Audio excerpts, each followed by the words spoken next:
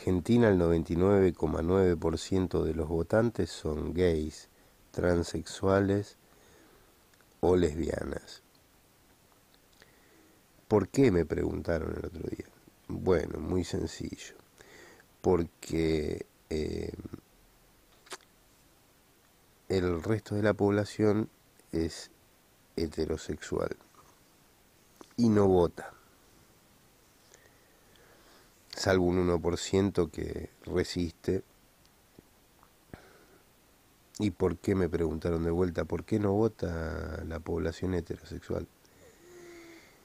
Porque es machista y heteropatriarcal y hay que privarla de todo, de todo derecho, incluso el del voto.